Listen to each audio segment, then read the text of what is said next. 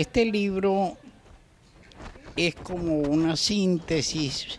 un poco apretada, pero, pero muy segura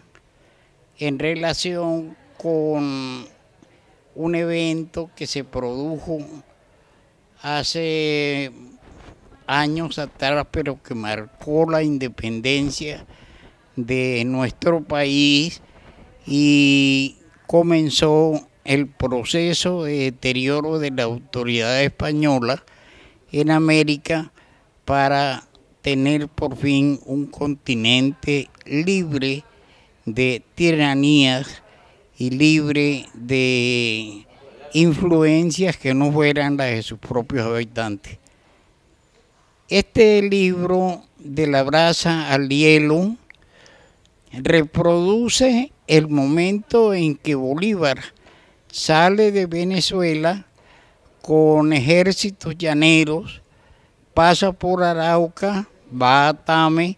sube por el páramo de Pisba hasta dar las batallas de la batalla del pantano de Vargas y la batalla de Boyacá, donde se signa definitivamente la independencia de Colombia. Vamos a tener en cuenta este episodio muy importante en la historia regional para mostrar de dónde venimos, cómo somos y a dónde aspiramos llegar. Luis tuvo una gran eh, participación en el sentido de su experiencia, sus conocimientos del llano, y la consecución de una serie de documentos muy importantes que nos han servido de basamento